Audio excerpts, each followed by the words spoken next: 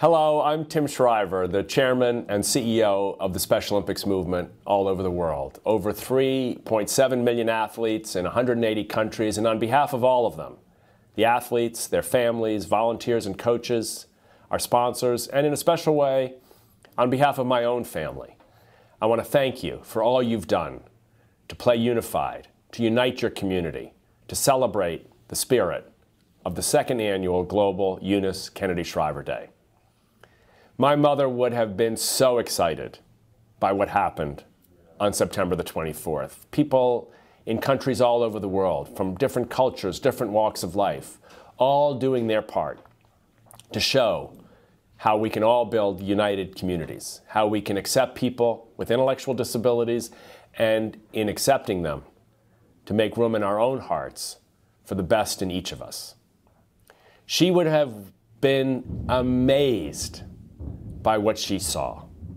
She would have been amazed by the work being done in Haiti at Camp Shriver, where those Special Olympics athletes all over the country came together on EKS Day, just as my mother did 40 plus years ago. She would have been amazed to see the perseverance and courage of the families, the volunteers, the sponsors, and most importantly, of the campers. Our very own Camp Shriver in my home when I was a kid seemed revolutionary. It was just as revolutionary when it was done on EKS Day in Haiti. She would have been amazed in South Africa as young people gathered together in Limpopo and celebrated not just Eunice Kennedy Shriver's work in the past, but the joy of unified football. She would have been amazed to see those teammates, the goals scored, the hugs, the learning, the insight, the hope. She would have been amazed in Romania, where students from Romania's National Academy of Physical Education and Sport partnered with local Special Olympics athletes and took part in a day of basketball and gymnastics and bocce. She would have been amazed that people in Japan, despite all of the trials and, and disasters of recent months, nonetheless turned out to honor the importance of her work but also to honor the need for healing and unifying a country that, despite its pain, recognizes that the spirit of sport can bring people together, all that done at the National Basketball Tournament.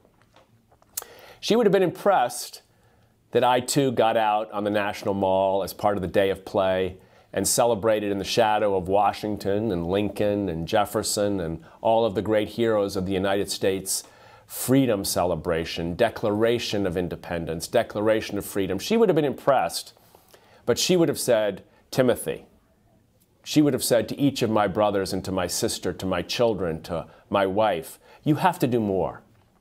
This was good, but this was not enough. There are still too many people who are feeling excluded. Still too many times when parents get told their children don't count. Still too many children who never get the chance to play. Be more rebellious. Show me your determination. I don't see enough of your passion. So I have no, uh, no choice but to share with you that same challenge. My mother would be proud of all you've done, but she would be on us all. Do more. Play more often. Live more unified.